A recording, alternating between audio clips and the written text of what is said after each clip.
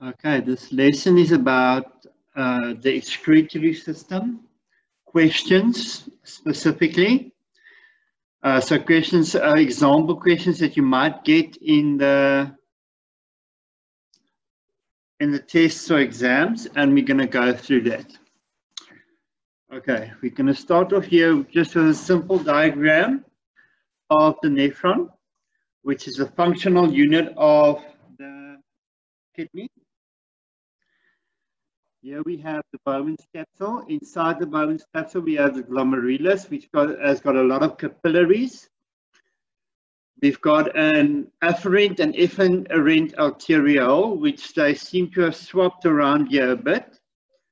Uh, the afferent arteriole going into the Bowman's capsule is normally wider. The efferent arteriole going out of the Bowman's capsule is normally narrower. This causes a lot of pressure inside the glomerulus and that pushes out a lot of the liquid that's inside the blood into the Bowman's capsule to be filtered. Most of the blood goes into the Bowman's capsule and then what happens is this fluid, this filtrate, moves down the proximal tubule. In turn, this blood vessel, the efferent arterioles, come together and they circulate themselves around and also around here and all the way up to the distal tubule before they eventually then go out of the kidney. What we then see is that certain substances get reabsorbed by the blood. Specifically, if we take a look at some of these glucose, all of the glucose is supposed to be reabsorbed back into the, the blood. Amino acids that are needed goes back into the blood. Sodium that is needed, so it regulates the amount of sodium. Some sodium will eventually reach the section over here, which goes to the pelvis of the kidney, and eventually will go into the urethra and go to the bladder. But some sodium is reabsorbed actively. So there's active absorption. So um, active transport happening there. And then water will follow passively uh, by ways of diffusion or more accurately called, ladies and gentlemen, more accurately called osmosis. Going from a high concentration of water inside the proximal tubule to a low water concentration inside the blood. More water, more sodium, more water, so, uh, uh more sodium, water follows, and then finally, water follows at the very end here. Last attempt to get water back into the, the blood vessels. Especially this last part is going to be very important because over here, ADH is going to have an effect. So what is ADH? It's anti-diuretic hormone it prevents you from dehydrating. That's where the diuretic comes from. And what the antidiuretic hormone does is over in this area, there's holes. And it opens up these holes that are here and makes them wide so that more water will leave and go back into the blood vessels. So it prevents dehydration. And this especially happens when you haven't taken in enough water. And we need to try and conserve water in the body, which means that the urine, which eventually goes down here, is going to have, is going to be very concentrated. It's going to have a very high concentration inside. Um, um, and so it's going to be very concentrated with very little water. Okay. Now, this is a functioning of ADH and it's going to be not only important for this year, but also important for next year when you are doing the endocrine system in grade 12 and you have to know this process. So let's take a look at two scenarios here. Firstly, water content in the blood is normal. Let's change it now into one of the two scenarios. So um, I eat a lot of salt and or I'm sweating a lot. I went for a run and I'm sweating a lot. Then the water content of the blood is going to decrease. The water content of the blood is going to decrease. Just a moment. Um, okay, just give me a moment, guys. My son is just needing some help very quickly. Um, okay, Papa is bezig met te lees. Ek gou vir jou probeer.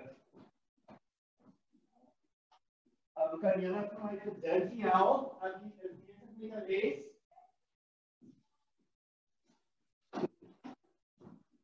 Okay.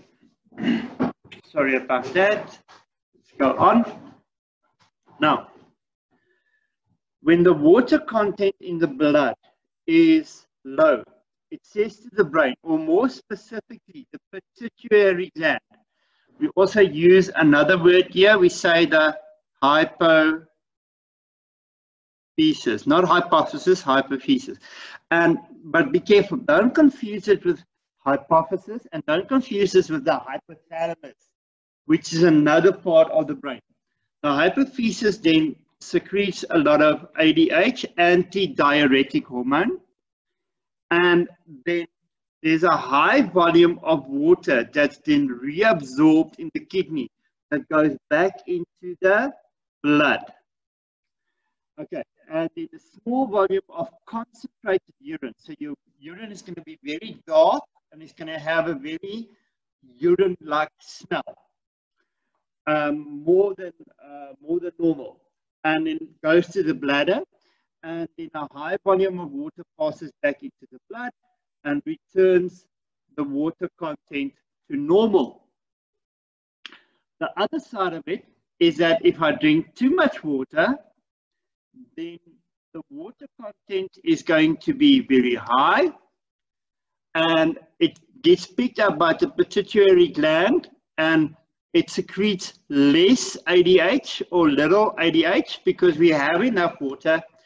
A low amount of water is reabsorbed into where? Into the blood. And then a high volume of dilute urine is then passed. Your urine is going to be very light, almost like water, and, or just water. Very little other things inside that urine and then the volume of the water that passes, a low volume of water passes back into the blood, which brings us back to the, the norm, the, what we need. Okay. Now, first question here. Let's take a look. Now, this is specifically based on that, that very same scenario we talked about now with the ADH. Study the table below and show the volume of urine produced by six different people on a hot day and a cold day and answer the questions that follow. So on a hot day, we're going to sweat a lot. If we are sweating, we already lose a lot of water, so we're going to have a low concentration of water. On a cold day, we're not going to sweat a lot. And what will happen is we're going to have a high concentration of water in the, in the blood. Then, so let's take a look just on average. 430, 890, 350, 1060. This is the amount of urine produced. 270, 950. You can see all these values are lower on this side than on this side. There's very high values. In total on a cold day, there's 100 cubic centimeters, uh, sorry, 1,000 cubic centimeters of urine produced. Then it asks you work out the mean volume of the urine. So what are you going to do? You're going to add these together. You're going to add them together. And there's six readings, and you're going to divide total by six to get the mean value, and your answer will get another mark. So you'll get a mark for adding up, you'll get a mark for dividing by six, and you'll get another mark for giving me the total. I'm not going to work it out right now. And remember to add the unit the unit is important because if we don't give the unit, it's going to be wrong. It needs to be cubic centimeters. Then, what can you deduce from the difference between the, the mean volume of urine produced on a hot day and the mean volume of urine produced on a cold day? So on a hot day, we produce less urine. We produce less urine. Explain why on a hot day less water is lost from the body as urine because a lot of that water is lost in sweat. There's a lower concentration of what? Of water in the blood. I want to conserve the water in my body.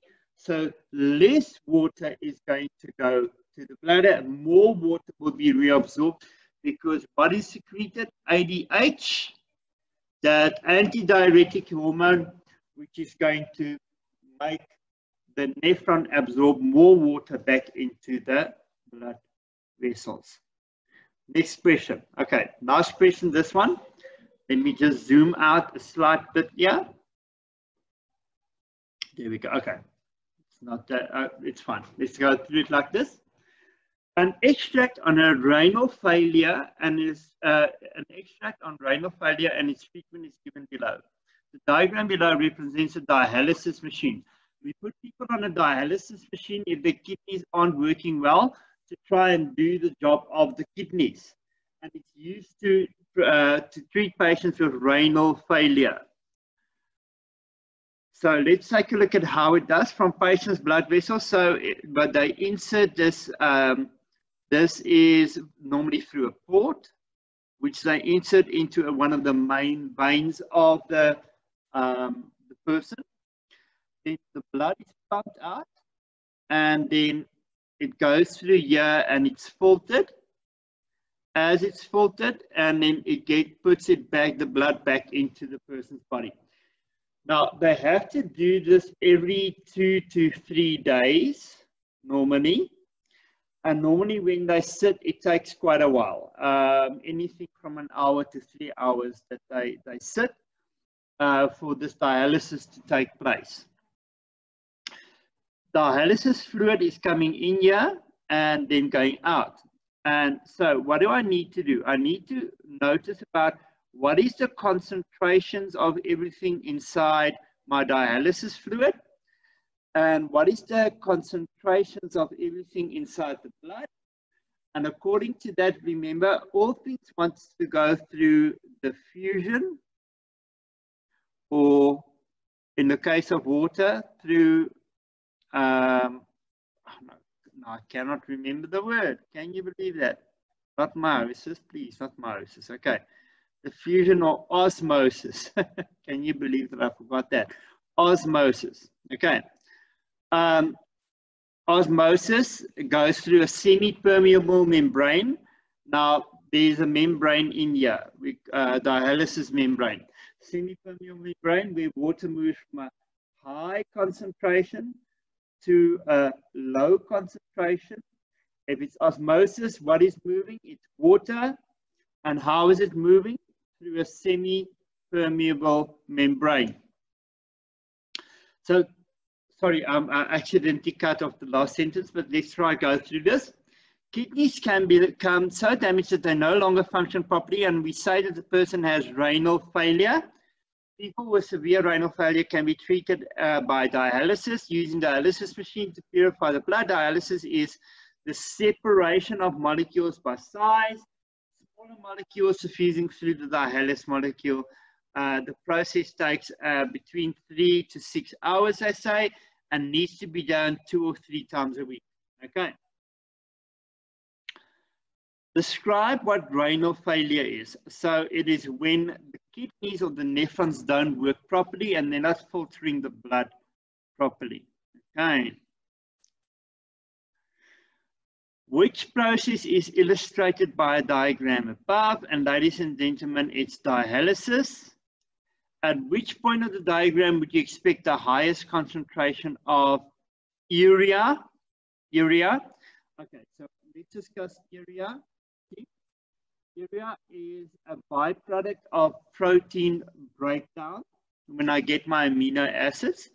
And according to the memo, it's at B. Let's take a look at where B is. So lots of urea there, but it filters out as we move through the dialysis machine. It filters out into the dialysis fluid. And there's not much left. The What's the difference between purification of blood takes place in the dialysis. Two main processes. Okay, so waste products moves from the dialysis tubing or the blood where there's a high concentration of waste. So high concentration of waste wants to move to a low concentration into the dialysis fluid where there's a low concentration of waste they, um, and then through the process of diffusion, always move from a high concentration to a low concentration. And the concentration gradient is maintained because the dialysis fluid is constantly being pumped through the system. So it's constantly being pumped in and out, and in and out. Keep the concentration of waste low. Then explain why dialysis machine needs to be selectively permeable, people, because it allows selective movement of waste products, all the smaller things into the dialysis fluid. We don't want to let everything leave into the dialysis fluid because I'm going to need things like glucose, which is a larger molecule. I want that to, to stay in the blood. Then, 3.2.6. Renal failure affects the osmoregulatory function of the kidney so that it no longer excretes water efficiently. Explain the effect of renal failure on a person's blood pressure. More water in your blood is going to have a higher blood pressure. Higher blood pressure. Why? Because, look over there if this is um, your vein and I've got more water, I'm going to have more water flowing through here and more pressure on the blood vessels. Think of a balloon, for example. If I put more water, pour more water into a balloon, and remember your blood vessels is a closed system, then as there's more water in the balloon, there's more pressure going to be on the outside of the balloon. Okay. Go to the next question, 2.3. Study the representation of the Malpighian corpuscle of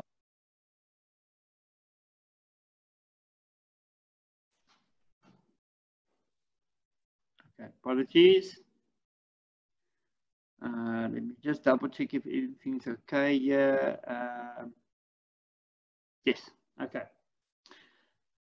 Okay, so we have the Bowman's capsule and we have the glomerulus and together the glomerulus and the, the glomerulus and the Bowman's capsule is called the Malpighian body or Malpighian corpuscle. Then identify uh, the represented part of the nephron shown. Okay, identify the represented part of the nephron shown, and they gave it you in the Malpighian body, or uh, we, we can say the Bowman's capsule, or we can say the glomerulus, but together they form the Malpighian body. Yes, they also gave Malpighian body uh, as a complete uh, structure. Name the parts labeled A and B. Afferent, arterial, and efferent, arterial. Okay. um, afferent and efferent arteriole. Arteriole just means small artery. Okay, Chepo, you can unmute and you can ask your question. So is there any difference between um, the Malpighian body and the Bowman's capsule? Chepo, you had your hand raised. Do you have a question for us? Yes, I was saying, is there any difference between the Malpighian body ah, and the Bowman's capsule? Volume is off. Ah, I'm sorry, Chepo, I didn't hear you because my volume was off. Would you repeat your question, please? Um, is there any difference between the Malpighian body and the Bowman's capsule? Yes. Uh, the Malpighian body is the complete structure, including the glomerulus. The Bowman's capsule is only this part. Uh, let me make uh, highlight it. It's this part. That's the Bowman's capsule. Uh, and so that does not include the, the, when I say Bowman's capsule, it actually does not include this glomerulus. The two together make up what we call the Malpighian body. Okay. Yes, sir. Okay.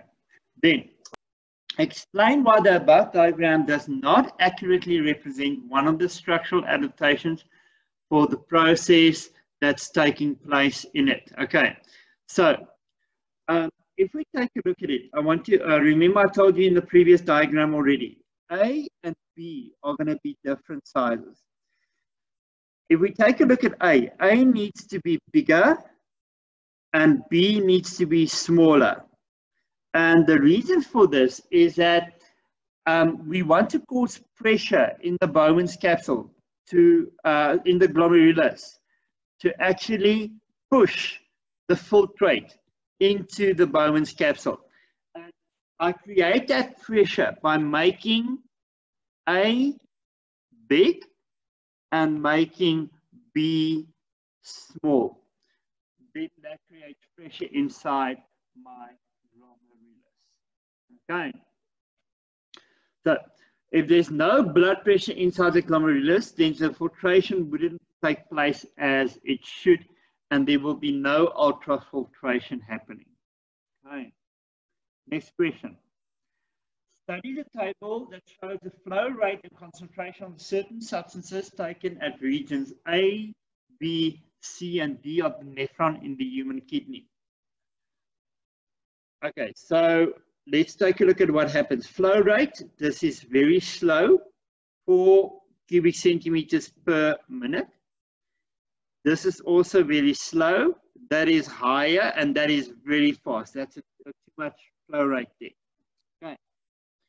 Then, let's take a look at what happens here. Oh, okay. No proteins, no proteins, no proteins, okay, in the solute but there's seven. So that says with number B, something's wrong. There shouldn't be proteins there. Let's take a look at the second one.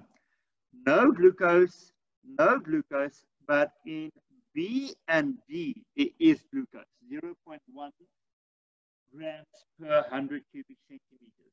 Let's take a look at sodium. Uh, reasonably high, high sodium content, high sodium content. B and B, they're eating too much salt. They're not living a healthy lifestyle. There's too much salt inside that solute. C seems a very low one, so it's not eating as much salt. Ammonium ions, A is 0.04 and the rest is zero. Urea, okay, so he's producing a lot of urea this looks like uh, uh, someone who might be going to the gym and because he, um, and also he might be taking creatinine and producing a lot of that urea as we break down the amino acids for proteins. Lower, lower, and uh, low, but not as uh, higher, but not as high as eight. So let's take a look at the questions. Stated which, uh, with a reason, which of the parts A, B, C, or D of the nephron represents the following? Afferent arteriole. Okay, so afferent arteriole. Okay, so oh, I'm, I'm understanding my question incorrectly here. So these are just different parts of, of the nephron. So if we draw the nephron, afferent arteriole, glomerulus, efferent arteriole, Bowman's capsule, there we go, and proximal tubule. Okay, so let's take a look. So which one will be the afferent arteriole? So I'm still going to have in the afferent arteriole, I'm still going to have, um, I'm going to have a lot of sodium, not filtered yet. So there's going to be a lot of sodium. There's going to be a lot of proteins. There's going to be some glucose in there. Uh, definitely glucose in there. Um, and then urea, we're going to have a high concentration of urea. And but the memo, let's take a look at what the memo says to us. Um, then for A, uh, they say D is the afferent arteriole, contains proteins, as we said. Okay, so D is going to be afferent arteriole. D is over here. Contains a lot of proteins still. Okay, then Bowman's capsule, which one is the Bowman's capsule? According to the memo, they say B because it's got the highest concentration of glucose but no proteins. Okay, so uh, glucose, let's take a look, glucose, highest, uh, and, but it hasn't got any proteins. So B is going to be over here in the Bowman's capsule. Remember that glucose is going to be reabsorbed back into the into the blood later. So sorry I'm late. I know it's fine. We almost finished, but I will post the the the lesson. I will post it on Google Classroom uh, as soon as I get a chance. Unfortunately, I couldn't Yes, post, post our previous lesson. I lost our previous lesson. My my hard Yeah, drive no, was I forgot about the lesson, sir. Yeah. Sorry. no stress. Um, guys, sorry that I didn't post our previous lesson yet. Uh, the one on um, we were supposed to have on, I think, uh, that we had on Thursday. I was supposed to uh, post it on Friday, but I lost my hard drive. My hard drive crashed. Uh, and so, yeah, I had to, um, I'll have to redo that lesson later, but this one, I will hopefully post it either tonight or tomorrow. Tip, you have a question? Yes, sir. Um, sir, do you use the same uh, classroom as, uh, I mean, the same, yeah, the, the same classroom as Miss Perry's one? I will post in that one, yes. The HP one. And for seven point, okay, I'll come back, sir. I was, Okay. I was, I wanted to, I wanted to ask regarding seven point three, sir. Okay, let's finish this one, then we can go back to that one, okay? Okay, Yes, sir. then loop of Henle. Now remember, loop of Henle is going to be over there. Okay, it's going to, and then come back up before we go into the distal tubule. And they're saying to us that is uh, C, uh, solute number C. There's no glucose. Glucose has been taken because glucose leaves here already. Glucose leaves here. And so C will be at the loop of Henle for the reason that there's no glucose left in there. The other reason they're giving to us is that it tells us that there, uh, there's a lower concentration of sodium. Um, so some of the sodium's already absorbed. And then lastly, they want to know what's going to be in the collecting duct. Now the collecting duct is right here at the very end. Me just go, there's the collecting duct over there. And so if we take a look, it's, it should have the highest concentration of urea inside it. And let's take a look, yes, highest concentration of urea in the collecting duct because all of it will go out of the blood and into the uh, and into the urine. You said you had a question on 7.2, correct? Okay, yes, 7.2. Let's take a look. Okay, 7.2 was with regards to the to the ADH question. And so what was your question? So for seven point three, 7.3, okay? I said because during a hot day, the heat makes Okay. the body undergo transpiration in a form of sweat. This is done to cool. This is, this is done to cool down the body, and it causes the body to lose um less water in the form of urea during a hot day. On a cold That day, is- the opposite happens. That is Sir? but be careful. You used one wrong word here. You used respiration. Uh, you you actually meant transpiration, uh, not Yes. transpiration, uh, but the, the loss of water through evaporation from sweat. Okay. Okay. So, I, so is it the same if you wrote um transpiration instead of evaporation? Uh, be careful. Transpiration is actually evaporation through plants, and you're not a plant. Oh, okay. Okay. Yes. Okay. So that's the lesson. Um, I will post it. Um, is there anybody that has any questions? Um, Yes, sir. yes. Uh, so for 2.3.3, Yes. The answer because the efferent material is not bigger than the efferents in the diagram. So it's not supposed to. That is correct. Oh. Because um, if if you take a look at, at the two, let me just put it up here. If you take a look at the two, and you can see I've drawn it here. Um, uh, I've drawn here that this one needs to be much bigger and that one needs to be a lot smaller so that we have uh, cause a high blood pressure inside the glomerulus to push the filtrate into the Bowman's capsule. And so, yes, you're quite on spot there. The afferent arteriole or A needs to be bigger than the efferent arteriole. They mustn't be the same size. But so I don't understand how is something that's bigger have, ha like will have more pressure than something that's smaller? Isn't like isn't volume inversely proportional to pressure? Okay, let's take a look. Here's two boxes. Inside these boxes, I've got the same amount of molecules. These molecules move around and they hit the side of the container, right? Yes, sir. As I hit the side of the container, that's what we call pressure. One, two, three, four, five molecules. One, two, three, four, five molecules. Which one, which is, where is it going to hit the size of the container more? The small container or the large container? Small one, sir. There we go. So that's more pressure.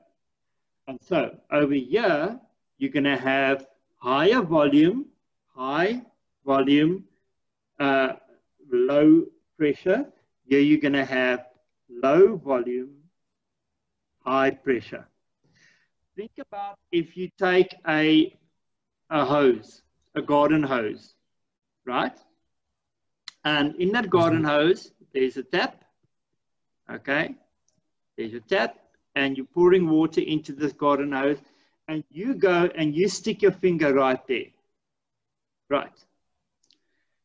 What's going to happen to that water that's coming out there? It's going to come out at a higher pressure. Yes, sir. Okay. And so the same happens over here. Low pressure, high volume, high pressure, low volume. And so all the pressure dams up here and gets pushed Yeah. out.